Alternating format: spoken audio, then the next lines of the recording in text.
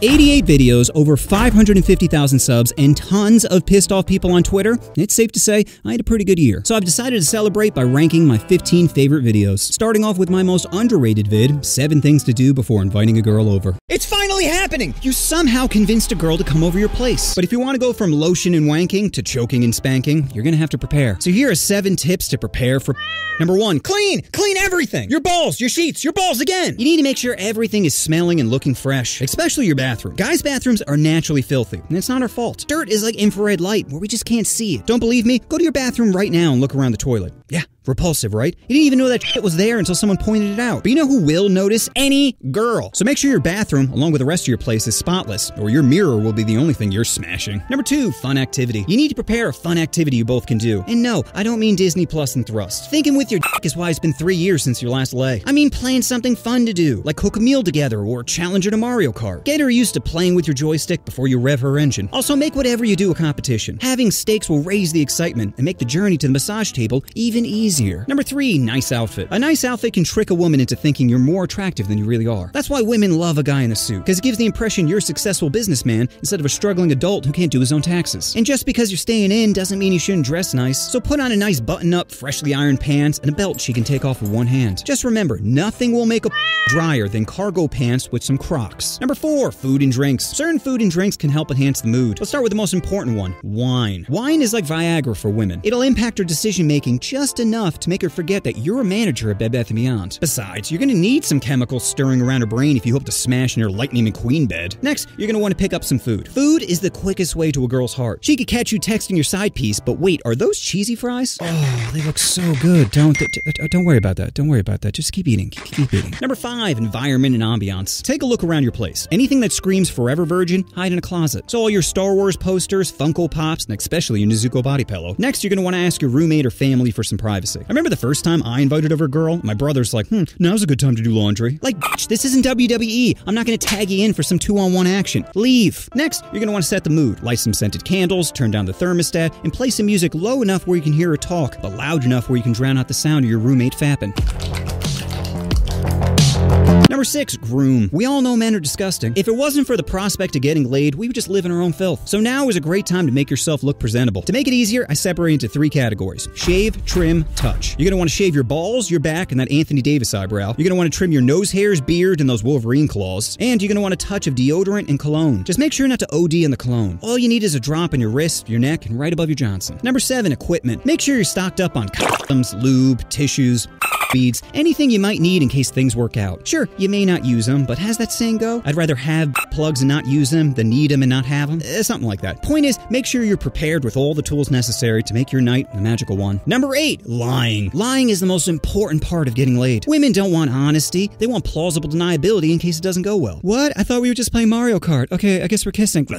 Remember, women don't want to pork you, they want to pork the person they think you are. And they think you're a clean, charming fella with no ulterior motives. Women even lie to themselves. Like, bitch, you shaved your cooter and didn't think things were gonna escalate? Really? So those are all my tips on how to prepare for if you found any of these useful, then be a homie and share it with some friends. Cause no guy wants to go from cream pies to no replies, from sloppy head to left unread, from swallow to no follow, from licking your balls to no new calls, from hitting the back to never coming back, from making it squirt to leaving you hurt, from being humped to getting dumped, from sitting on my face to saying, I need space, from clapping cheeks to not hearing you in weeks, from thumbing the butt to I don't give a fuck, from licking your bean to leaving you unseen, from happy smiles to Your call cannot be completed as dialed. Oh, and your hoodies. Hide your hoodies. Women love to steal hoodies. One of the most crippling addictions you can face is gambling. Just one double or nothing and say goodbye to your empire. That's why I find the idea of going to casinos so fascinating. Because we've all heard the house always wins, yet Vegas is still one of the top tourist destinations. So enjoy my 14th favorite video on why gambling is stupid. Idiots. So many people are idiots. The fact that Las Vegas exists proves my point. You see, casinos are like your pastor. They promise you happiness, but end up taking advantage of you. Just take a look around. Giant water fountains, the Eiffel Tower, that can pass as people. How do you think they can afford this shit? By selling tickets to the buffet? Mm-mm. It's by convincing suckers that they're smarter than multi-billion dollar corporations. How many times have you heard someone say, this is my hot seat, or my lucky slot machine? Spoiler alert, luck doesn't exist. If it did, your dad would have decided to pull out years ago. Another phrase I hear all the time is, my number hasn't popped up, so it's due. Like, why don't you go outside and huff some paint? Because you clearly don't understand how probability works. If there's a hundred numbers and the number seven pops up 10 times in a row, do you know the odds that it'll pop up an 11th time? One out of a hundred! Just because it popped up before has no impact on it popping up again. But even if you're bad at math, just take a look around a casino. They're built specifically to milk you for all you got. There's no clocks or windows, so you don't realize how long you've been gambling for. They use chips and cards so it doesn't feel like you're using real money. Machines have flashing lights and sounds that give you dopamine rushes. And best of all, they serve you free alcohol. Nothing in life is free. If your girlfriend gives you a free blowy, know you'll end up paying for it later. So casinos aren't giving out drinks out of the kindness of their heart. They're doing it to stir chemicals in your brain to disrupt whatever little bit of object reality you have left. We've all made dumb decisions while drunk. Now imagine being plastered next to an ATM. Could you not see how this shit could go off the rails? And people still go to Vegas thinking they're gonna make it big, when the only thing that they're winning is chlamydia and divorce papers. But why, offending everybody, are you going this hard on gambling? Well, for starters, every idea I have is random. I refuse to be like these other basic bitch stick figure channels, just copying everyone's idea and never coming up with anything original. But what really spurred this idea was I was on a cruise recently, and I like to play this game called Find a Pathetic Person. It's not what you think. It's where I walk around a casino trying to find the most pathetic person. Oh, that's exactly what you thought? Oh, okay, I'm glad we're both on the same page. Anyway, I ended up bumping into a guy who said he loved to gamble, and I'm trying my hardest not to question his intelligence. He was wearing a Nikocado avocado shirt, so things were looking a little bleak in the IQ department. But trying to be objective, I decided to hear him out. I said, Why do you feel like you'd win in a casino? And he said, Oh, well, it depends on which game you play. I'm like, Okay, what game do you play? He said, Oh, I'm really good at blackjack. His face looked like Bella Ramsey, so I'm thinking maybe he's one of those autistic savants. I'm like, How are you so good at blackjack? Now he's starting to patronize me, saying, Bro, there are tons of books on it. So in his mind, if there's a book, it must be true. That's why Kanye is like, Guys, I'm not anti Semitic. If you just read a little bit of mine, you see that I'm totally right. So I say to the guy, uh, okay, hear me out. Imagine you're a corporation who makes tens, if not hundreds of millions of dollars providing games. Each game provides you a higher statistic for winning each round. So even if it's a 51% chance, the house will still net benefit over time. Now, what you're telling me is one game has a higher chance of people winning. Do you think a company is like, you know what? We're making way too much money off these games. Let's just give people one game where they can win more often. Sure, we lose money, but I'm just a company who cares not only about earning tons of money, but people too. So he doubles down and says, Well, you just have to know when to walk away. I'm like, Walk away? What does that even mean? When is the right time to walk away? As soon as you make a profit? As soon as you double the money that you came in with? Or is it percentage based where you make 15% or more and you walk away? Please tell me in your head, what does the term walk away actually mean? And his response was, and I quote, It's just a feeling. Which, to be honest, sums up this entire video. It's not statistics or logic that makes people play these clearly rigged games, it's a feeling. So why waste your time working hard for money when you can just pull a lever and have a machine decide it for you? So that's my video on why gambling in a casino is stupid. If I miss any, please let me know down in the comments. And just remember, the only smart gambling is spoon feeding drinks into a 5 foot 5 big titty Asian. Hit me. Hypocrites. I hate hypocrites. And there is nothing more hypocritical than claiming to follow the teachings of Jesus while denying people healthcare coverage. So here's my 13th favorite vid. Who would Jesus vote for? Help me, Jesus. Bless him, my child. What is it you need? I'm very sick and I need help. I understand. How much money do you have? What? I don't have any money. Ooh, that's unfortunate. But wait, I thought you'd help. I help those who help themselves. But you're Jesus. Oh, see, you're thinking of liberal Jesus. I'm Republican Jesus. Republican Jesus? Yeah, it's like regular Jesus, except I'm not a f- queer. Jesus isn't gay. Hangs out with 12 men, drinks wine, wears sandals. Yeah, sounds pretty gay to me. How are you any different? Hey, I'm smashing tons of biddies, okay? And when you're famous, they just let you do it. Sometimes I don't even ask for permission. I just grab them by the p- and say, I'll be your messiah tonight. Okay, I'm not sure how I feel about that. Why? You're not a homo, right? No, but. Good. To be honest, I really hate those people. I'm glad I made their hole smelly. Jesus, I need medication or I'm gonna die. There's some things more important than your medication. Like what? Corporate profits. But it says to help poor people in the Bible. Where? Deuteronomy 15:11, you shall open wide your hand to your brother, to your needy, and to the poor in your land. You see, by opening your hand, they meant give him the bird. Uh, Okay, then what about Proverbs 22:16? Whoever oppresses the poor to increase his wealth or gives to the rich will only come to poverty. Yeah, it says gives to the rich and you'll come to poverty. So giving to a wealthy person will make them come to poverty. Jesus. Hey, I don't judge kinks. Okay, I do, but not this one. So you don't help people at all? What are you talking about? I help people all the time. Like who? Uh, uh, Jeff Bezos, um, Elon Musk, uh, some Jewish guy. What do they need? Oh, they prayed to stop paying federal taxes. What? They're rich. Why should they have to pay for Medicare and Medicaid? So I can have medicine. Oh, my dad, relax. You're acting like I haven't done anything for you before. What have you done for me? Uh, uh, what about those panic buttons I had installed at your school? The ones to alert for a school shooter? Yeah, those. Speaking of school shootings, though, someone should really do something about that. You! You should do something about that. Like what? Turn all semi-automatic weapons into Marlowe? Yes? Hey, if guns were around in my time, you bet your sweet candy ass I'd be wielding one. What was that, Judas? You want to come over for dinner? Kablamo! Okay, so to recap, you only help people who have money. And people the same race as me. You know, white. I thought you were Middle Eastern. I am. So how are you white? You're saying that white people can't be Middle Eastern? Psh, that's pretty racist of you. Ah! An Afghan hound! Jesus, you killed him! He was coming after me. He was sniffing you. Probably sizing me up to either rob me or take my freedom. I thought thou shall not kill. Yeah, well, unless you feel threatened, then smite away. Is it cause he was an Afghan hound? I'm sorry, is it wintertime? Because all I see is a fucking snowflake. It's not my fault he was from a shithole country. He probably was a terrorist, if anything. You should be thanking me. Okay, if you're not gonna help me, then what about your dad? Oh, you're talking about the guy that watched his own son get whipped, beaten, and tortured in order to save mankind when he could have just sent out a fucking memo? That's the guy you want to ask for help? Oh, okay, fine, fine, fine. Let me just give him a call. Hey, Dad. Oh, me damn it. What is it? What are you doing? Angel dust? Oh, right. Uh, listen, there's a sick dog here that keeps begging me for help. He's not a black lab, is he? No. Mexican Chihuahua? No, he, he's he's got a lot of white on him. Uh, listen, he's asking for medical care. You asked him for money, right? Of course, but he says he doesn't have any money. Tell him freeloaders are the devil. Well, I did, but he keeps nagging me saying he's suffering. Tell him to pull himself up by his bootstraps. Hey, what the hell? Excuse me? What the hell, God? You're seriously not gonna help one of your sick and needy children? First off, you're a stepchild, if anything. Or like an inbred cousin we don't invite to Thanksgiving. Secondly, you can't talk to me like that. You're not doing anything for me anyway. Oh, okay. You want to talk to me? Hey, Jesus. Yeah, Dad? I want you to slash his food stamps, Medicare, Social Security, and like a like, like a like a tiny bit of his penis. Oh, I've been done that. Well, my work here is done. Got out, bitches. Okay, okay. Well, what, what about the devil? Is he around? Of course, you see him all the time in the news. Who? AOC. The Congresswoman? Congress demon, okay? He gets really upset when you assume his gender. How is AOC the devil? Hello? Who laughs like this? That's right, a demon. That looked doctored. Fake news. All right, well, if that's all you needed, then my work here is done. Hey, Jesus? Yeah? You. Oh, that's real childish. Did you say child? Oh my god, fucking relax, Jeff. I said childish. Oh, dad damn it. I told that guy to stop sneaking up on me.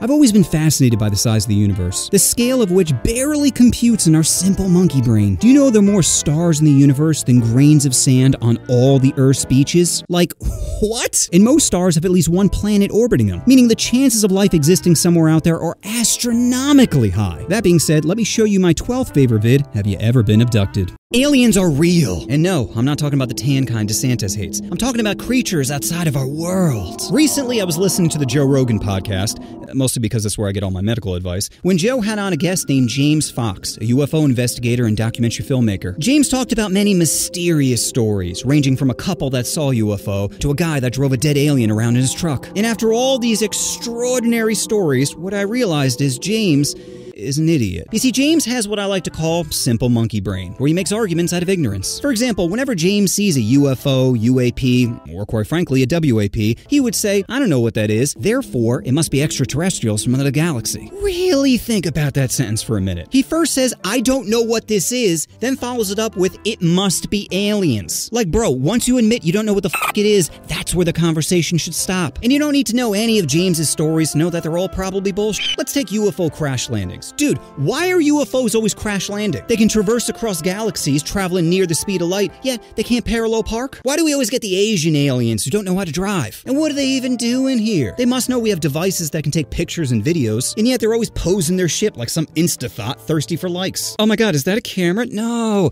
I don't want any attention. If they want to gather information, then they wouldn't even need to get that close. Just telescope us from Pluto being like, damn, they really like using all their holes. While on the topic of holes, alien abductions are also also nonsense. These people are probably reliving childhood trauma from when their uncle in a gray sweater bediddled them during Thanksgiving. Turkey's ready, Billy. And even if a random alien wanted to slap your titties, you would never know. They just blow dart your neck as you wake up the next day like, why are my nipples erect? And what if Florbus was here? Seriously, every freaking story is, I remember being awake on a table as Baby Yoda poked at my poop chute. Like an advanced creature capable of hyperspace technology can't use a simple tranquilizer? Are you serious? And why do aliens always look exactly like us? With all the evolutionary traits we can see on our planet, somehow a biped with wrists is the dominant creature in their galaxy as well. What a coincidence! It's almost like our simple monkey brain is only capable of thinking of us as the highest form of intelligence. And why are they always so weak and feeble? They're basically a great preteen going through chemo. And if they're not going to do some crunches, then where are their weapons? They see we have electricity, meaning we probably have some sweet missiles, and yet they didn't come strapped? Every alien should be packing not only a death ray, but also a ray, where you immediately start everything in front of you. A rock, a car, your nephew. I'm so sorry, Billy. And why is every alien such an idiot? Think about it. They're always crash landing, don't bring any weapons, can't even blow dart somebody correctly. Maybe we're just getting all the rejects. Basically the inbreds of their galaxy. Get out of here, Florbus, you fucking idiot. Go crash land on some other planet, you nerf herder. Listen, I get it. Everybody wants to know the answer. I'm the guy that saw aliens, who got abducted, who felt Baby Yoda's finger. I'm the guy. I'm not some nobody. I'm special. I'm the guy that broke the biggest story of mankind. I mean, should the first three chapters of history books be dedicated to me? Maybe, but that's for future generations to decide. But the statue is non negotiable. So aliens aren't real? Oh no, they're probably real. I mean, think about it. Our smartest person, Albert Einstein, says he can't travel faster than the speed of light, and the closest galaxy to us is 25,000 light years away. So you might think, oh, it'll take an alien 25,000 years to reach us, but it's actually a minimum of 50,000, because it'll take 25,000 years for light to reach their telescopes, and then another 25,000 years for them to reach us if they're traveling at the speed of light. So basically, what I'm saying is 50,000 years from now, I'd start freaking out. Get your gooey hands off me, you nutless monkey! When I was in college, my homie and I made a bucket list of 50 things to do before graduating, and not surprisingly, more than half of them were about smashing people, which just goes to show how simple guys' brains are. So here's a list of 15 things on every guy's bucket list. Banging MILFs, getting rich, then banging more MILFs. Every guy has a list of things he wants to accomplish before he dies, so here's a list of 15 things on every guy's bucket list. Number one, f- some. Guy brains are very simple. Having sex is the greatest thing that can happen to us in a day, and the only thing better than that is having sex with two people. Losing your virginity is the day you become a man. Smashing two people at once is the day you become a god. The only downside is your hand hurting after giving your friends too many high fives. Number two, commit a crime. Why do men like vigilantes so much? Simple, because they don't play by the rules. No one wants to be told what to do. What do you mean it's illegal to jizz in my friend's shampoo bottle? I just want to mix this Old Spice with my old spunk. Number three, bang a MILF. We've all fantasized about our friend's hot mom getting stuck in a dryer and needing your help to get out. You see, every guy wants to sleep with an older woman. Older women don't play games, tend to have bigger tits, and have maxed out their dick sucking skills. Best of all, their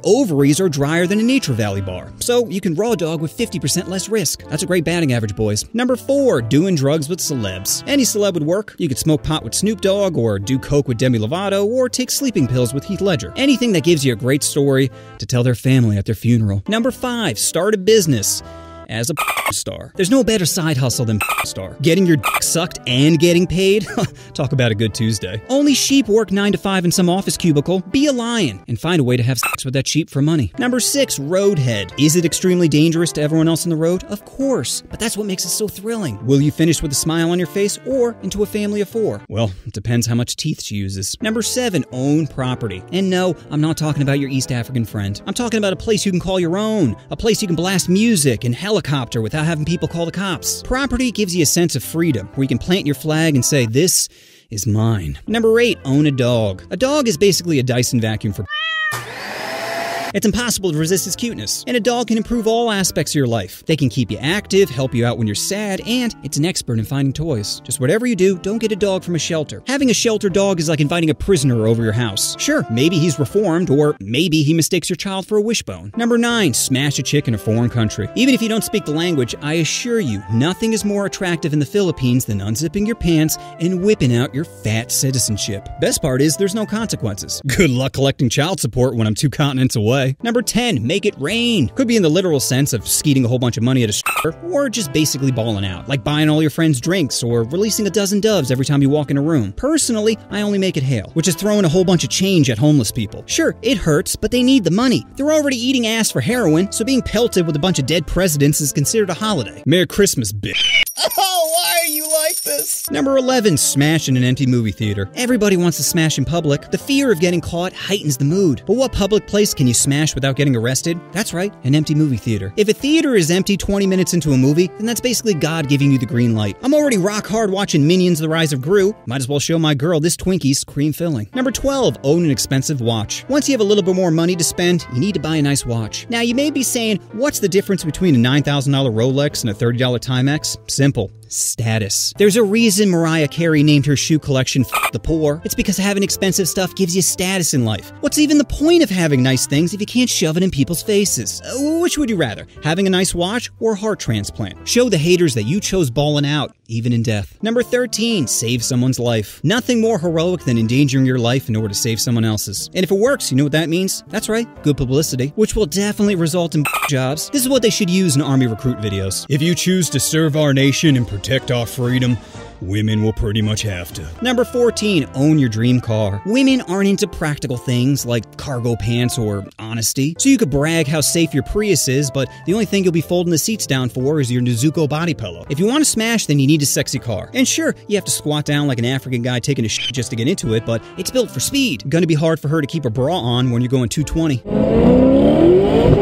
Number 15, getting revenge on your enemies. We all know it's illegal to beat the shit out of them, but perfectly legal to send them a Snapchat of you motorboating their ex. Now, which one do you think is gonna hurt them more, huh? Bonus tip if all else fails and you don't hit any of your dreams, then you can just live vicariously through your kids. Just download all your insecurities on them like some sort of shitty human USB drive. You failed at baseball, but your kid still has a chance of being drafted. They're probably gonna hate it, but they're also desperate for your approval. So keep throwing fastballs at their head until they learn how to catch, Billy! So those are my tips on what every guy should do before they die. If I missed any, please let me know down in the comments. And just remember, there's no greater joy in life than helping people. Ah! Not the face! Not the face!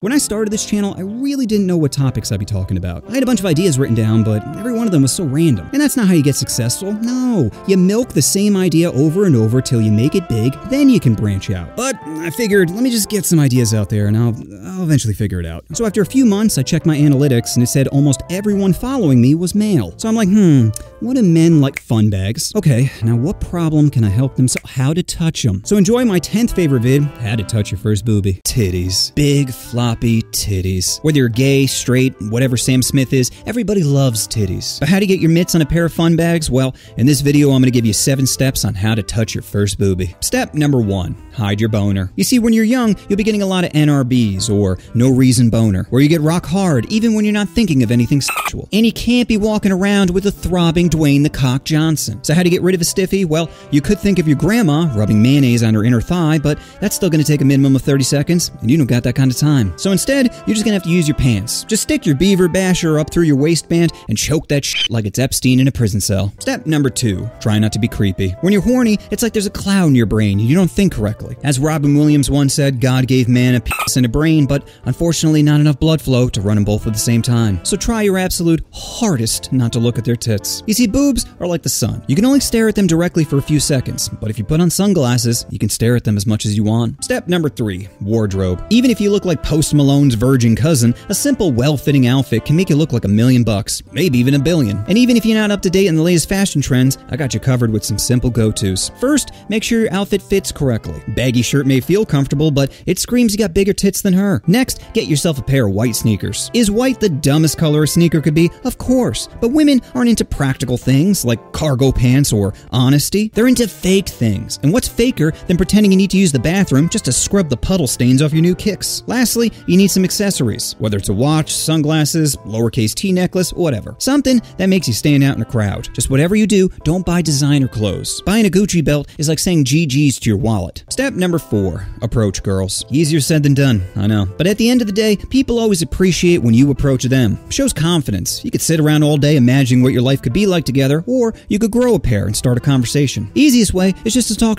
whether it's talking about your surroundings. Is that the new iPhone? Damn, those sweatshop kids work hard. Their appearance, why do your shoes say all over them? Or talking about others? Do you think Mr. Murphy's a pedophile? What? No. Then why did he write D on my paper and ask to see me after class? I think he's gonna try something. Step number five, tease. Women love to be teased, but don't go too hard in the paint. Making dead baby jokes right after the miscarriage might come off a little insensitive. Just start small, like if she's wearing cowboy boots, give her the nickname cowgirl. Or if she says something sweet, call her sugar tits. Just try to make her feel comfortable. Then move the conversation to be more sexual related. Again, don't start with, What's your thoughts on tossing salad in the morning? Work the conversation there slowly. Then, once you developed a rapport, it's time to move on to step six. Get them to a different location. This might be the most important step. You need to move from school friend or work friend to just friends. You see, friends can hang out anywhere, and it's a lot easier to make a move in the bleachers rather than on the field. Just try to be casual about it. You don't want it to seem like a date. Again, women don't want honesty. They want plausible deniability in case it doesn't go well. What? I just thought he was being nice walking me to my car. Okay, I guess we're kissing now.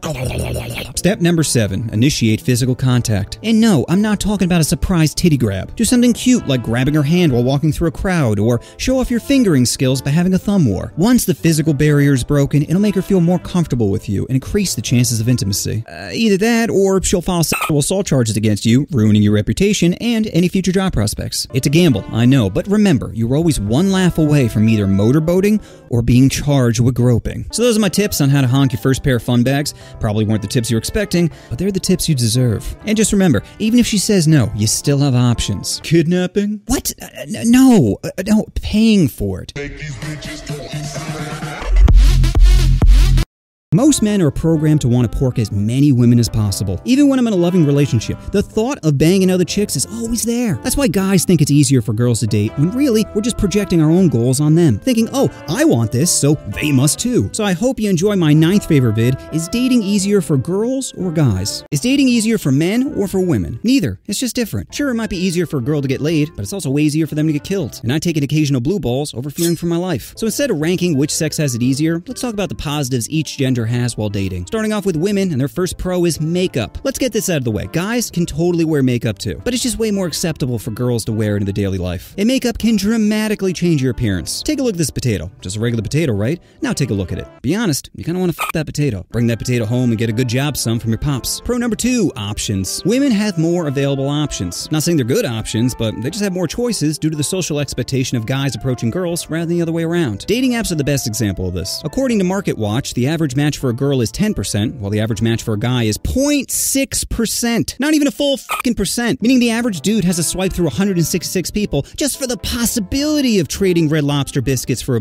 job. Both being extra salty. Pro number three, free meals. Everybody knows a guy pays for a first date. If a woman takes any money out of her purse, then you might as well rip up your condom, because the shower is the only time you're getting wet this evening. Is it fair? No, but good luck explaining a rational thought to an irrational creature. Pro number four.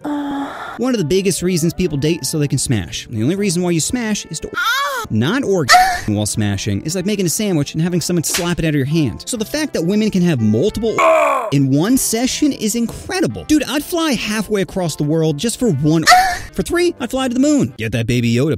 And lastly, the best pro women have while dating is respawn. You see, women have the power to load themselves into someone else's game, skipping most of the dating process altogether. So while you're building your best GTA mansion, you'll see player 2 has now joined. And guys, don't be jealous. If you could suck a d- for a jet ski, then you'd already be on your knees looking like a snake during feeding time. Alright, now let's talk about the pros for guys, starting off with bitch you ugly. One of the biggest advantages of being a guy is you don't have to be attractive in order to smash a dime piece. You could have a great personality, great sense of style, or just have some Pete Davidson big energy. You see, guys really only care about looks, but a girl averages a multitude of factors when determining your fuckability. This leads me to pro number two, money. If you have money, then nothing else matters. Money negates all negative aspects of your personality and appearance. You could be a narcissistic, daddy didn't love me, oompa loompa who occasionally tries to overthrow democracy, but if you have enough money, you can still buy a dime piece. So if God did you dirty on the looks department, know that you can at least work your way up to smashing a 10. Pro number three, fear. Like I mentioned in the beginning, you have very little to fear while going on a date with someone. Unless you're dating some CrossFit chick on TRT, you don't have to worry about her kidnapping you. You know how many women or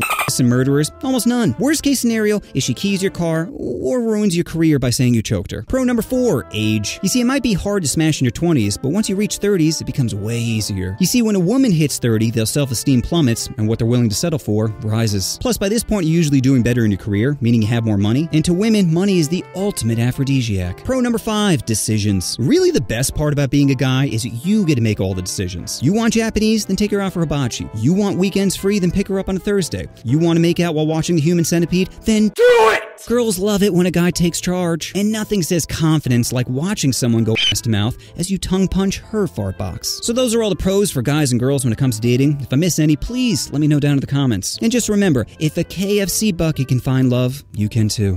It's no secret, most men are obsessed with the size of their Johnson. So I decided to help the homies out and talk about how to increase the size of your chunk. Can you believe I got away with this? How do I increase the size of my junk, you may be asking yourself while clicking on this video? It's not that you have a small fire hose. No, it's like average. I just wanted to see if this was clickbait, honestly. but let's be real. Every guy wants their Johnson to be half an inch bigger. You could be 10 and a half and still be like, yeah, but 11 though. Now, why is this? Why do we care about the size of our junk? Is it to please women? No, of course not. You may tell yourself it is, but it's not. If you cared about women, you'd make her come first. You see, it's not about pleasing women, it's about impressing men. You want other guys to know that you're a stallion. You might even be too big. But how big do you need to be? Well, the average vaginal canal is 3 to 6 inches long, and the G spot is about 2 to 3 inches in. So you don't need a giant horse like in order to make women climax. Now, this is just an average and doesn't account for women like Nicki Minaj that have what science refers to as deep dish pussy. I'm not even sure how she finds a chair big enough without Miss Pac Manning it. The main reason you think your junk needs to be bigger is because of you're comparing yourself against genetic freaks. Is like the Olympics of fucking 12 inches and lasting 45 minutes. Well, why are we giving Simone Biles medals when Johnny Sins clearly deserves it? And guys with huge is need You think the average girl can fit a roll of paper towels in her mouth? No. Besides, like I mentioned earlier, the average vaginal canal is 3 to 6 inches long. You think having an extra 10 inches slam against her lungs feels good? Her cough isn't from the Rona, it's from that Bona. Now, it's not to say having a bigger penis doesn't have its advantages. For example, cowgirl is going to be difficult if her max bounce height is only 2 inches, and it's the only way to make gray sweatpants attractive. Another benefit to big junk is it gives you leeway when you're not at full mast. You see, when you're a teenager, every boner boner's 100%, but the older you get, or the more whiskey you have, your junk will be more like 80% or below its max. So if you have a bigger schlong, then you don't have to be batting 100% to hit a home run. But luckily, medication like Viagra or Cialis have already solved this problem. Now, if you only care about optics, then the best tip I can give you is to shave your junk. Really does give the appearance that is bigger. Besides, girls like it when a guy grooms himself. You think they want to run through a cornfield just to find the scarecrow? Mm-mm. Now, if you were born with a micro penis, or if the doctor's hand shook a little too much while snipping the tip, then there's still three options. Option one, kill yourself. Option two, toys. Technology has adapted to the point where we've determined the best vibration angle and depth to stimulate an ah! Sure, everyone's different, but there's enough options to find something that would work best between you and your partner. Just start off slow, okay? You don't want to be jackhammering that night one. Option 3, carpet munching. If you really want to please women, then it's time to improve your tongue game. There's a lot of good reference material out there. If you search how to eat puss on your favorite hub, you'll find a lot of great information. The way I learned was from watching a video called How to Eat like a champ. And I know it seems like I'm making a joke here, but I'm really not. That's the actual name of the video. And even though it's old, it has some excellent tips in it. The only problem is the video quality is like 144p, meaning it's visually hard to figure out if you're looking at a coochie or a ham sandwich. But the tips they give are literal gold. I promise you, I went from Down syndrome kid eating pudding to getting my head crushed like a watermelon. Overall, how important is size? Well, not as important as you think. There are still plenty of options for whatever size God made you in the assembly line. So try your absolute hardest to stop caring about what others think. And listen, if all else fails, just get a dog. That way, at least someone will make her wet in the bedroom. You know why I'm always making jokes about sensitive topics? Because humor helps us get over bad stuff. That's why so many comedians joke about death, because laughing is the way we cope. And to me, there's something beautiful about taking something that normally brings a negative thought and making it positive. So I hope you enjoy my seventh favorite vid things you can't joke about. Are there things you can't joke about? No, of course not. There will always be people that get butthurt over a joke. Recently, I made a mentally challenged joke and someone yelled at me saying, Hey, what if you had a kid that came out developmentally disabled? I said, How dare you? Developmentally disabled is derogatory and hurtful. I prefer the term Pop Tart. Now, if my kid was a Pop Tart, I'd be so excited. I'd bring him to the store dressed as the Dark Knight as he's yelling, No, no, no, no, no, no, no, no, Batman. He's knocking all the soups off the shelf, but you can't yell at him. If anything, someone will make a viral TikTok that shows how much of an awesome father I am. Uh, what I'm really saying is, Pop Tarts are a great tool in order to gain clout. It's like having a dog that wears pants. It's impossible to look away. And sure, there are some downsides, like he can't write his name without killing himself, and he can't take a piss without biting his tongue, but there are so many upsides. Think about how much easier it is to plan your day compared to a regular kid. You're never caught off guard with, Dad, come watch my soccer practice. Your kid's legs are deader than Heath Ledger in a hotel lobby. The only balls he's kicking are the ornaments on your Christmas tree. Having a Pop Tart is like becoming rich. You can park in front of any store, get to skip the lines at Disney World, and when you're tired, you can have someone drive you around. Now, some people are going to get upset over your parenting skills, but just respond back with, Hey, I don't tell you how to raise your toaster. If anything, they're jealous. They wish they could slap their kid in the face without having child protective services called on them, but they can't. Not my fault you were cursed with a normie. And don't let the liberal media convince you they deserve the same rights as people. There's a movie called I Am Sam, based off a true story where a mentally challenged fellow is trying to gain custody of a seven year old girl. Spoiler alert, he doesn't. And all I can think about while watching this is how could you root for that guy? He's retarded and wants to be responsible for a child? What do you think would happen day one? Have a good day at school. Dad, this is the post office. See you later. I find that offensive is one of the dumbest phrases in the human language. Who am I even offending? People aren't watching this video. They're too busy nibbling on their own hands. You know what offends me? The slogan autism speaks. No, it doesn't. Bleh. Is a noise, not a word. I could shake a bunch of maracas, but I'm not holding a conversation. And you know Autism Speaks is sponsored by Build-A-Bear? How is a child gonna hug a bear whose arms are crossed the entire time? And why do you never see any of them on TV? Every show has an idiot people find funny. The Office has Kevin, Parks and Rec has Andy, The Late Show with Jimmy Fallon has Jimmy Fallon. People love to laugh at stupid people. That's why we should televise the Special Olympics. Gary is about to set a new high dive record at two feet. Let's see if he makes it.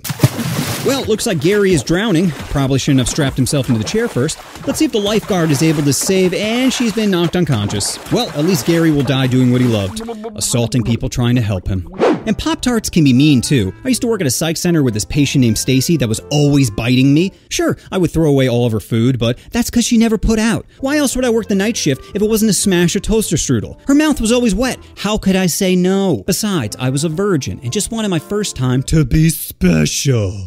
what was I talking about again? Oh, that's right. Things you can't joke about. If you get upset over a joke, then that's on you. Your triggers are your responsibility. It isn't the world's obligation to tiptoe around you. I mean, at the end of the day, don't we all wish we were more retarded? Knowing the finite nature of our existence is depressing. I feel like I'm just one can of paint away from living my life carefree.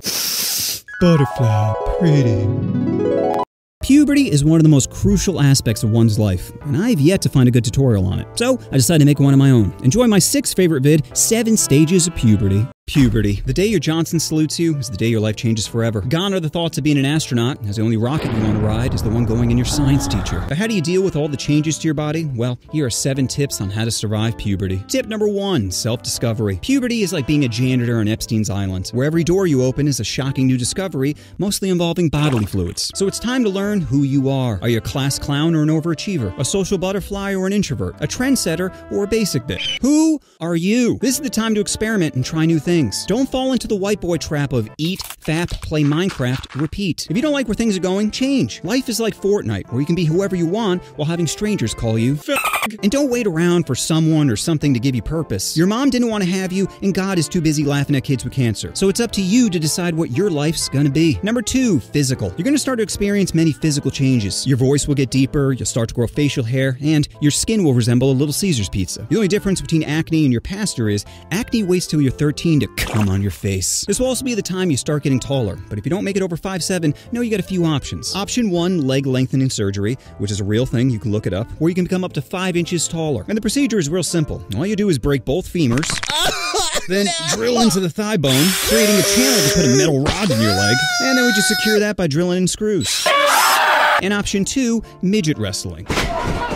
Man, they almost look like real people. Number three, sex drive. Being horny is a lot like being hungry. The only difference is where you place the cucumber. And just like being hungry, you're not thinking clearly when you're not getting stuffed. That's why I recommend all guys pound one out before making an important decision. Give yourself a little post nut clarity before hitting on a girl with cold sores on her lip. And listen, everyone is gonna make mistakes. Just remember, it's not a failure if you learn from it. Like the first time I kissed someone, I threw my tongue around like a Parkinson's kid trying to climb a ladder. But this taught me to be slow and gradual with my next kiss. And whatever you do, don't take sex advice from porn. Porn is like watching the circus going, oh, that's how you play with lions. Like, no, that's a professional. You're a rookie, so start with a slightly tamer kitty. Number four, personal hygiene. You used to be able to take showers once a week and spray a little Axe body spray on yourself and be good. Now, if you don't shower after gym practice, your balls will be like opening a jar of weed in the classroom. To make it simple, I have a patented shave trim touch strategy. You're gonna wanna shave your balls, your back, and that Anthony Davis eyebrow. You're gonna wanna trim your nose hairs, your beard, and those Wolverine claws. And you're gonna want a touch of deodorant and cologne. Just remember, if you wanna smash a kitty,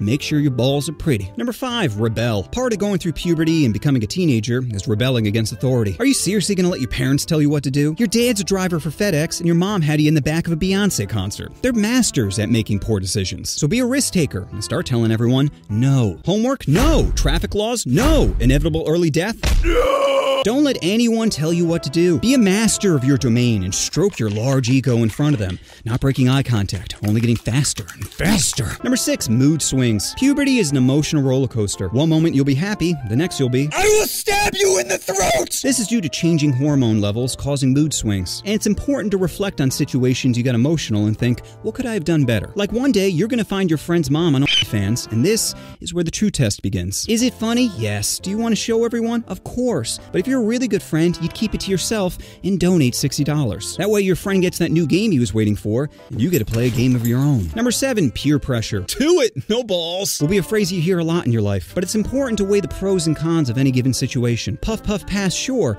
Drink, drive, glass, ugh, not so much. Billy, no! And don't blame your friends for peer pressure. Blame your simple monkey brain. You see, the parts of your brain responsible for risk assessment and planning ahead are still developing. This is why teenagers are more likely to be involved in high risk behavior like drinking and driving or raw dogging your second cousin. You just wanted your friends to think you're cool, and I get that. But if shit goes south, you'll be the one dealing with the consequences. Billy, aren't you happy you survived? Bonus tip, and this might be the most crucial one of all dating. You're gonna start developing what science refers to as feelings. And with feelings will come crushes. And with crushes will come rejection. And if you get rejected, that's okay. Just try not to get into the mindset of, if I can't have you, no one can! Because that's not a place you wanna be. Remember, you're not gonna vibe with everyone, and there will always be other people out there willing to deep throat your gym dog. So those are all my tips on how to survive puberty. If I miss any, please let me know down in the comments. And just remember, puberty is like Asian parents, where it's gonna hit you no matter what. So many of us are in this social media shouting match of, Look at me! That's why I feel bad for streamers, because I only have to be interesting for four minutes, while they gotta be entertaining for hours. And when you spend day after day stuck in front of a camera, you can't hide. Try being fun and engaging when your mom's in the hospital. You don't think your audience is gonna see through your cheerful facade, dissecting every tone and facial expression to write that one negative comment that makes you wanna snap? So I know being able to stream is a privilege, but let's not forget the person behind the screen is still a person. A person who deals with the same challenges and turmoil we all face in life. That being said, I hope you enjoy my fifth favorite vid, Smash or Pass Streamer Edition. Welcome to Smash or Pass, where I make inappropriate comments about women I never met and hope they never see it. Streamer edition. Starting out with Pokimane, Pokimane. I've only seen Pokimane in two things. One, where she pretends to do cocaine, Are my lines good enough? I don't know if I'm good at this. and two, where she tweets this photo. This face makes more money than you'll ever see in your life. Now, both these things had me conflicted, because the cocaine thing makes me think she's willing to put dirty things in her body, but this tweet screams pretentious bit. Plus, this picture looks like she's one dry away from having her meth for the evening. So, it's gonna be a pass for me. Next up, Amouranth. I'm pretty sure she has a learning disability. Like every time I hear her speak, I'm half expecting her to start nibbling on her hands. Now, if you like to spank it to the Special Olympics, you do you. But I'd rather smash someone that can take a piss without biting their tongue. Pass. Speaking of retarded, Lily Pichu. Now, I've never heard her speak and know nothing about her, but come on. Look at this pic and tell me she's not one chromosome too heavy. So it's gonna be a pass for me. Next up, Loser Fruit. Now, at first, she seems like your average cute gamer chick, but then I looked up her YouTube and she brought her boyfriend on stream. Like, bitch, what are you doing? You're not even top 200 in Fortnite. Simps only watch you because they think their tier 3 sub will get them a pity hand job at TwitchCon. So because of your poor business skills, it's gonna be a pass. Next up, Iron Mouse. What the waifu is that? 40 year old pedos are really up their game. I'm over here here thinking Mall Santa or Tickle Me Elmo cosplay is the best way to abduct kids. I never thought of playing off their hentai fantasies. It seems so simple now. Why waste your time joining a church and convincing 12 year olds to take one for the Lord when you can just put Nezuko on a popsicle stick and have kids DM you their home address? I appreciate your craftiness, Iron Mouse, but all pedos should be hung at the gallows, so it's gonna be a pass from me. Next up, Kitty Plays. Well, not into trans people, so it's gonna be a pass. And don't give me that she was born a woman garbage. Look at that chin. That's a man's chin. I- I'm sorry, was a man's chin. Pass. Next up, Imaru? I- I- Imaru? I tried watching one of her YouTube videos and I couldn't make it past the intro. Thank you.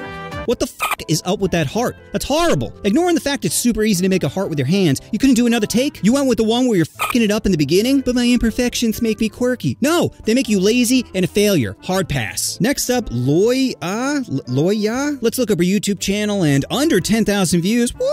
This girl's in my league. Ah, but she's a redhead. Ew. It's nothing against them, but they don't have a soul and they're not getting into heaven, so sorry, girl. It's gonna be a pass. Next up, Valkyrae. Now, sure, her voice sounds like a baby being circumcised. it's the dumbest joke I've ever said.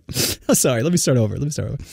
Now, sure, her voice sounds like a baby being circumcised, but you gotta respect her passion. Like, she doesn't half ass anything. She goes hard all the time. Like, she reminds me of someone that'll grab your being like, we're doing this. Power bottom activated. Easy smash. Next up, it's Sheifu. I can't tell if she looks like every other Korean girl or if I'm racist. Wait, let's test this. Editor, put 10 other Koreans on screen. And she's gone. You know what? I'm still gonna smash, because of all the pasty white people I know, Asians just seem exotic. Next up, Lula Lulavi. Lulavi? Let's watch a video of this girl. We need half a tablespoon of lemon zest. Cream cheese, six ounces. That's one, two. Is this bitch literally just making cookies on camera for content? God, I hate these talentless bitches. See, I respect women whoring themselves out for money. Like Autism Speaks Amouranth, showing off everything but a nip for subs. But bro, someone just baking cookies, no intro, no quips, just some being like, hey, you guys want to see me iron some laundry? No! Hard pass. Next up, Just a Minx. Let's see what she looks like. Oh, fuck no. Purple hair is a massive red flag. And I should know, I did a video on the biggest red flags. Girls with vibrant hair colors are one daddy issue away from keying your car, so it's gonna be a pass. Next up, QTCinderella. Proving you can blow your way to the top. Now, I'm sure she'd get real butt hurt saying, I worked really hard to get where I am and has nothing to do with who I'm sleeping with. Which we all know is bullshit, right? Like she could be the most talented streamer, but porking the biggest streamer on the planet didn't help a little? Really?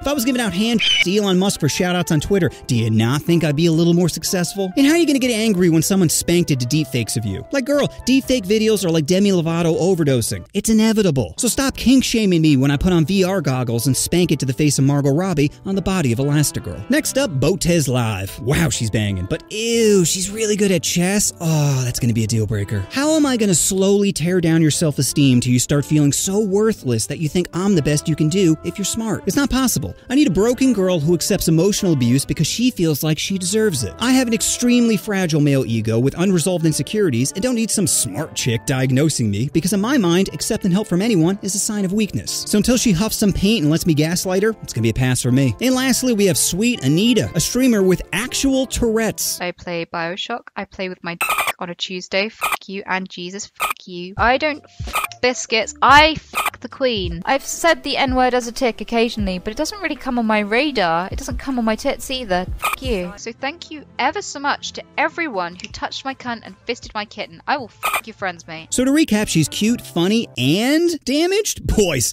I think we got a winner. All right, that, that feels like enough streamers for today. And to everyone watching this, please don't tweet this video out to all the streamers on this list. Most of them are busy making talentless reacting videos. They don't have time to watch anything with some substance. Besides, I wouldn't want to offend anyone on my channel, offending everybody. One of the worst aspects about COVID is it basically gave people social anxiety. It's like we all forgot how to talk to one another. And it's important to remember human connections make life worth living. Who isn't happy laughing with friends, getting complimented by strangers, or hugging somebody you care about? You may enjoy your alone time, but it's the time you spend with others that's the most memorable. So if you struggle with social situations, then hopefully enjoy my fourth favorite vid, How to Beat Your Social Anxiety. Ew, get away from me. You're doing it again. You're thinking about people judging you, but the only way to know if you're gross is by talking to them. So here are seven ways to fix your your social anxiety. Number one, stop caring about what others think. Part of your awkwardness is low self esteem. People are going to judge me, or I'm not interesting, or people don't want to hear what I have to say. Take a look around. The world is filled with basic bitches, holding the same iPhone, driving the same car, fapping to the same corn stars. Barely anyone is special, knows who are, nibble on their own hands. Best example of someone who doesn't give a fuck is Jeff Dunham. He's one of the most successful comedians in the world, and the dude plays with puppets. Puppets! Like, how did that not get bullied out of him? what if he got bediddled into him? Billy doesn't like to be touched there.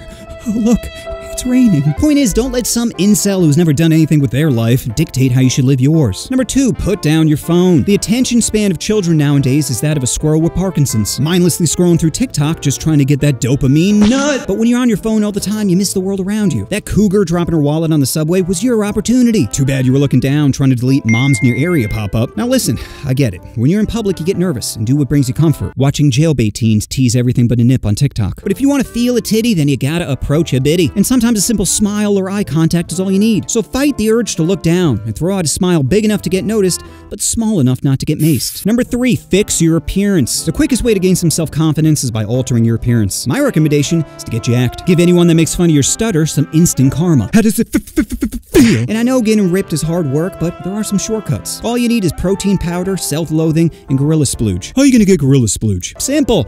Carefully.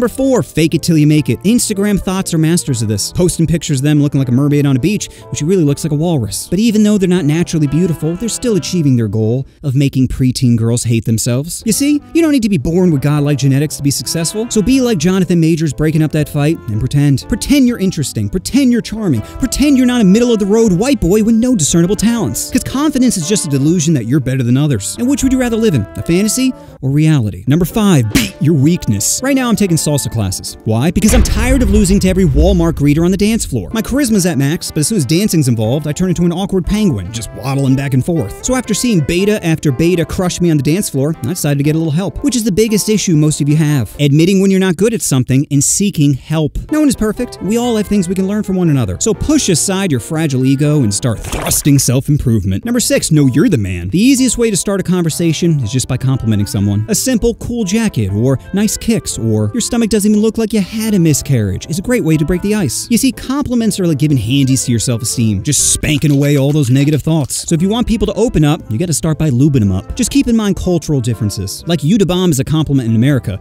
but an argument in the Middle East. Number seven, learn to laugh at yourself. Having some humility is a good thing, and no one knows this better than the developmentally disabled, or as I like to call them, Pop-Tarts. I made a video a while back called Things You Can't Joke About, and they're always commenting how it's important to laugh at yourself, which is impressive, because how are they typing when their hand always looks like they're holding a you see, if they can laugh at themselves, you can too. Because when you do, you take the power away from words. We all know mental warfare is worse than physical, so learning to laugh off any insult is something we can all get better at. Isn't that right, Billy? Oh, typing. Number eight, stop giving a poop. There is no guarantee there will be a tomorrow. Every day I see people looking down at their phones while driving. I'm like, damn, yo, I am one breakup text away from going over this bridge. And having some horned up teen almost send me into another dimension really puts things into perspective. Like, what am I doing with my life? Why do I need validation from anyone? Because that's all social anxiety is caring about the opinions of others. So let's all stop giving a poop because if you don't, you're not getting into heaven. So those are my tips on how to fix your social anxiety. If I missed any, please let me know down in the comments. And just remember.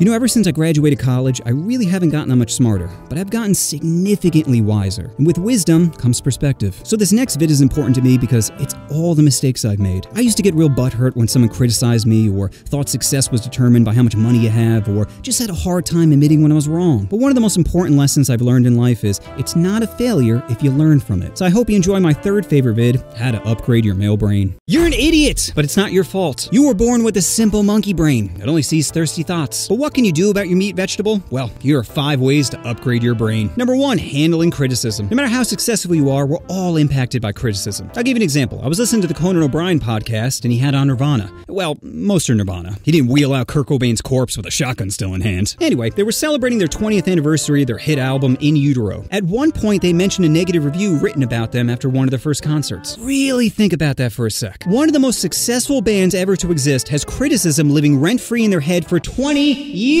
So it doesn't matter who you are, negative comments can hurt everyone.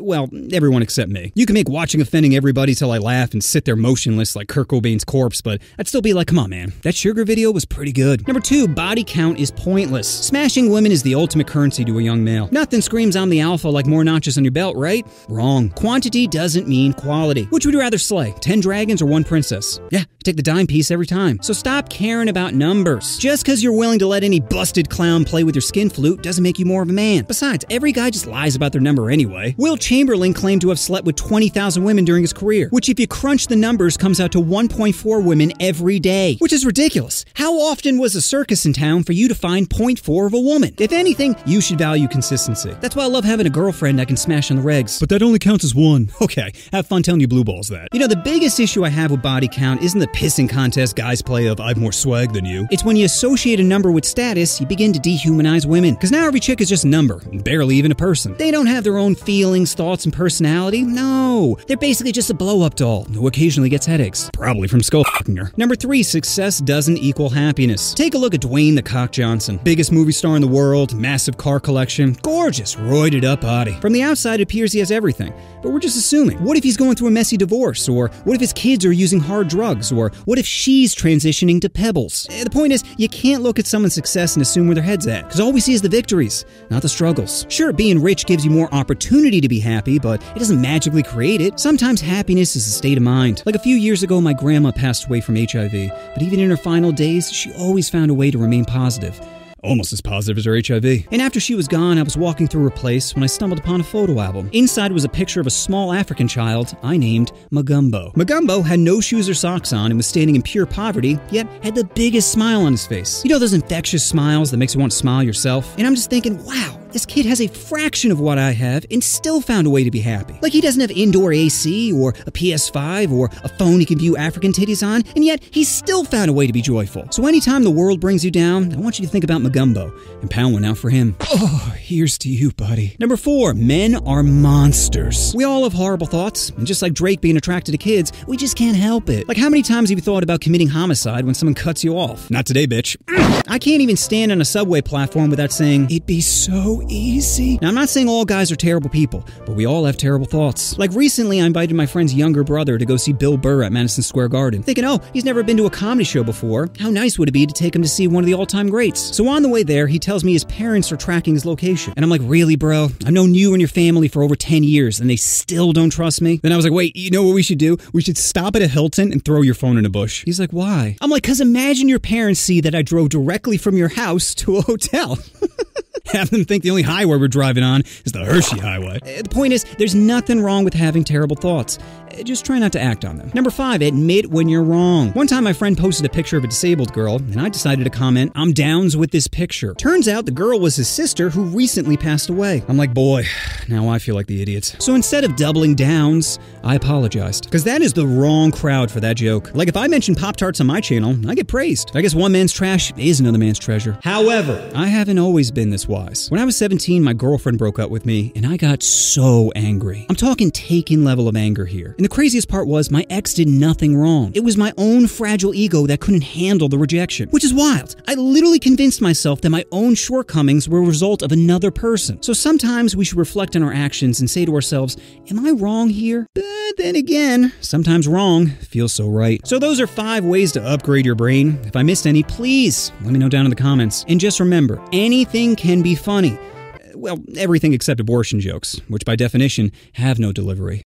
This brings us to the top two. Now, unfortunately, I can't show you my second favorite vid, as YouTube apparently didn't see the satire in it. However, you can watch it, along with my other two hot for YouTube videos, on my Patreon. And any tier you sign up for grants you access to a private Discord server where you can share all your please end me memes. Seriously, your support really does help the channel and allows me to continue making uh, risky content, I guess is a good way to put it. Anyway, this next vid is real important to me, as it's something I've struggled with my entire life sugar. Sugar is one of the most addictive substances on the planet. And just like kicking a homeless person, once you start, you just can't stop. But what is sugar? Sugar is when a glucose molecule decides to stick it in a fructose molecule, causing it to have a butt baby of sucrose. Sucrose is a simple carbohydrate, not to be confused with complex carbohydrates. You see, most people would typically group all carbs together, when they're really quite different. Simple carbs are like basic biddies. They'll give you a quick dopamine rush and then immediately ask for a handbag. Complex carbs are like your friend's stepmom. They won't be quick, but you'd be surprised at how long they last. Sugar comes from sugar cane or sugar beets and was originally brought to America by Christopher Columbus. Columbus, that white devil, thought, hmm,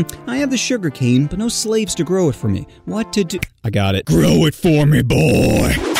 And boy did he. Those slaves were used to cultivate sugar, which turned into rum, which turned into money, which turned into more slaves, which turned into, you guessed it, more sugar. And over the next couple hundred years, people realized they could add sugar to things like coffee, tea, and chocolate to make it taste better, which led to the first advertisement of Folgers. Mmm, taste the suffering. Eventually, research started to come out linking sugar to adverse health effects, but getting rid of it would affect a lot of companies' bottom line. So in the 1960s, some shady people paid Harvard scientists to downplay the link of sugar to heart disease and blame it on fat instead. That way, companies could still make massive profits and more people would die. It's really a win win if you're a capitalist like me. But in 1972, some British scientist named John Yudkin decided to grow conscience and sound the alarm that sugar, not fat, was the greater danger to our health. The food industry responded appropriately by destroying Yudkin's reputation and getting his work banned, which just goes to show the free market always works. However, eventually more research came out linking sugar to an increased risk of cancer, cavities, diabetes, obesity, basically anything that makes a person unfuckable. But by this point, the damage is already done. In America, 70% of adults are overweight and 40% are obese. I don't even know how planes can get off the ground with so many pork chops out there. Guess pigs can fly. Now, in fairness, sugar isn't all bad. Your body wants about a fifth of its calories from glucose, so it's not surprising that your brain craves it. The problem is how much sugar you ingest. Like the average male only supposed to consume about 36 grams in a day. Like Bish, that's less than one can of Pepsi. That's for the day, let alone any other meal your fat ass is gonna scarf down. And you might think, oh well, the answer is simple. I just won't eat candy or drink soda. But spoiler alert, sugar is in almost everything. Peanut butter, tomato sauce, fucking Advil has sugar in it. And just like your pastor, companies know to get you while you're young. Breakfast cereals like Cheerios are 32% sugar, Lucky Charms 33%, Quaker Oats, oh, it has oats in it. How bad could that be? 44% sugar. How can you sell something almost 50% sugar to children and not expect some health problems? That's like bringing crystal meth cupcakes to the church bake sale being like, why are so many kids tweaking? You see, there are only about 10 companies that own all the food and drinks in the world. And not surprisingly, the sweeter something tastes, the more likely someone will buy it. My mom fell victim to this and would always buy me things high in sugar. In her mind, she was just being a good parent, not realizing she's napalming my palate. I couldn't even drink water without getting repulsed. And being a dumb kid, I didn't think I was addicted. I was just like, oh, my taste buds must be different. You like water and broccoli, I like Skittles and Pixy Stix. We're just built different. The only time I was like, wait,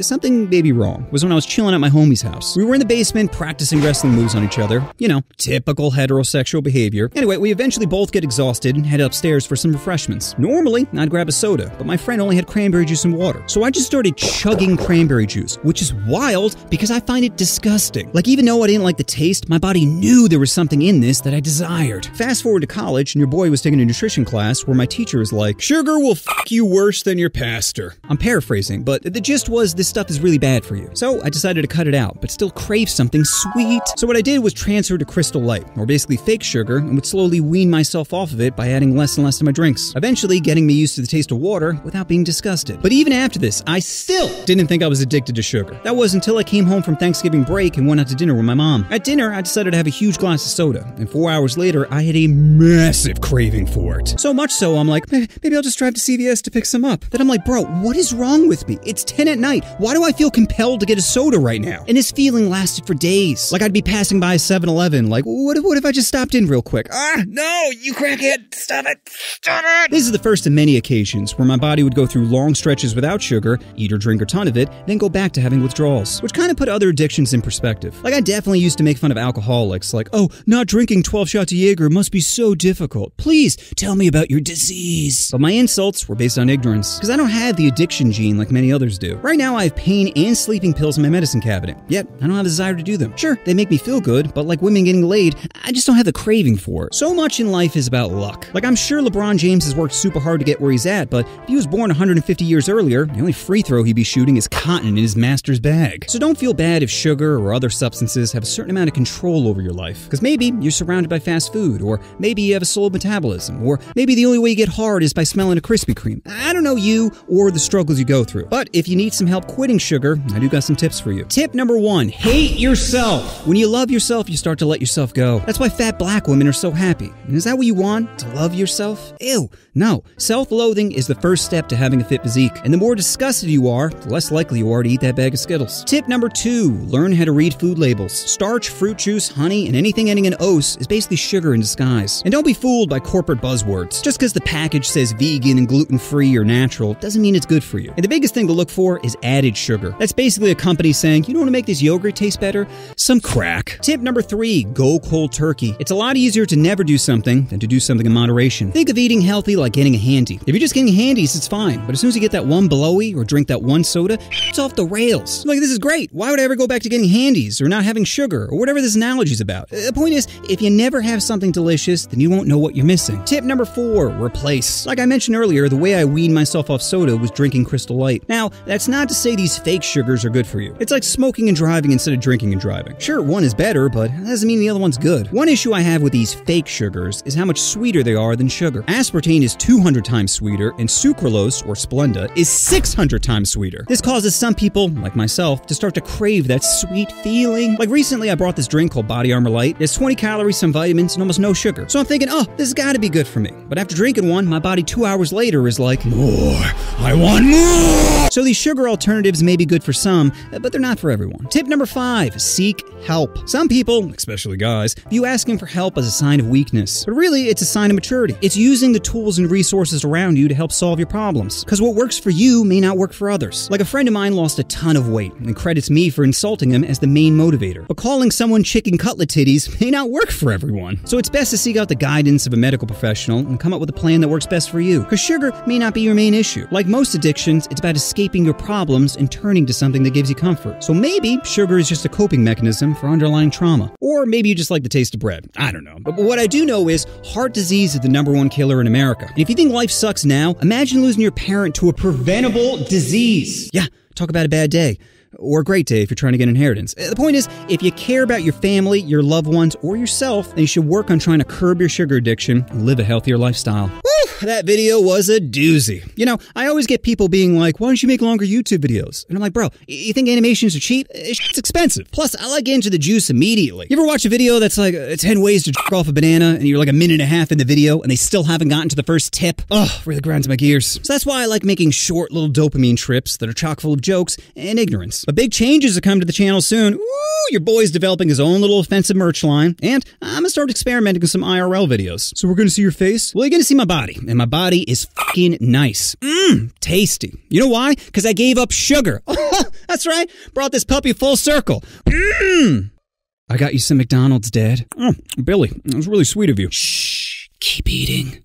Which brings us to number one. Now, the other vids on this list were hard to rank, but I always knew what number one was. So, my favorite video I have ever created is, drumroll, What's Heaven Like? To me, this is the ultimate banger. It's inquisitive, it's funny, and it talks about a topic that gets people the most butthurt religion. Nothing triggers people like religion. You could say snow is caused by goat jizz and no one would bat an eye. But if you say there's no God, then people lose their minds, which is crazy when you think about it. In both, you're just stating your opinion, but one invokes a strong emotional reaction. And when people get emotional about something, they tend to close themselves off to opposing viewpoints. And I know my channel's called Offending Everybody, but that's not really my intention. It's to talk about taboo or sensitive topics and make you think about them in a different way. I am not some prophet standing on I'm always right mountain. I'm just a dude who's always asking questions about the world around him. And I'm willing to adapt and change my opinion based on new information. Because the only way to know if you're right about something is by hearing different perspectives. So whether you're religious or not, I hope you enjoy my number one favorite video, What's Heaven Like? What do you think heaven is like? Christians always talk about how great it is, but I just got so many questions like, is there food in heaven? It seems a little f***ed up to choke on a chicken wing, then go to heaven and see the same chicken that took you out. If there's no food, then do you have to poop or pee? Peeing I could do without, but dropping a log after a day of crafting is one of life's greatest joys. Speaking of the poop shoot, do gays get into heaven? Bible says you can't lay with another man, but doesn't say anything about tossing salad. Can you spy on living people? You always hear how your relatives are watching over you, but that sounds a little stalkerish. Like I know we're related, Grandma, but I'm pissing. Get out. Do you have any impact over prayers? Like if your nephew is praying Father Cunningham stops him, can you go to God and be like, come on, G-Man, do you mind answering this one? What if you wanted to hang out with someone? Like, can I play chess with Jesus? He's got to be pretty popular. Does he just multiply himself so everyone can chill with him? Do you need to wear clothes in heaven, or does God just download no shame into you? I feel like I need at least boxers, or I'd just be helicoptering everywhere I walked. What if you remarried after your wife dies? She patiently waits five years for you to arrive, only to see you holding hands with another woman while floating the idea of a threesome. Can you have sex in heaven? Can it be with whoever you want? I mean, it's heaven, right? But if you can have sex with anyone, isn't that also a little rapey? Like, I'm not asking Margot Robbie for consent. I'm just putting on my Batman costume and smashing. If you can have sex with anyone, then can you have sex with fictional characters? What if I had a hard on for Elastigirl? I hear she's pretty flexible. If you can have sex, then can you conceive a child? What if your kid has Down syndrome? Can you just Kobe it in the trash can and try again? Do babies that die get in? Is there like a nursery ward for them? Do they grow up and go to school, go through that awkward stage of puberty where they get boners all the time? What if you were a wonderful person your entire life, but always had the desire to fuck a child? You never did it because you knew it was wrong, but can you smash a child in heaven? Is there free will in heaven? Can I lie, tease someone, tell a dead baby joke that someone finds funny and another finds offensive? Can I pull a prank in heaven? What if my friend gets upset? Is there some sort of mediation where an angel has to come in and sort it out? Or do they just send me straight to hell? Like, sorry, you can't be jizzing in your friend's shampoo bottle. Wait, it was a joke.